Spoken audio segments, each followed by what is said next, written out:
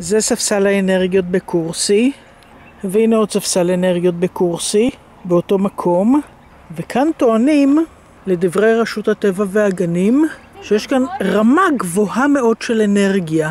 שמונה מיליון בוביס. זאת אומרת שבכל ספסל יש ארבעה מיליון בוביס. רגע, אז אם יושבים על אחד מקבלים ארבעה מיליון, ואם יושבים על השני מקבלים עוד ארבעה מיליון. נכון? ואם יש הרבה אנרגיות, אז אפשר להכפיל את זה ל-16. רגע, ואם אני יושבת הלוך חזור, הלוך חזור, מה קורה? את משלשת ומרבעת.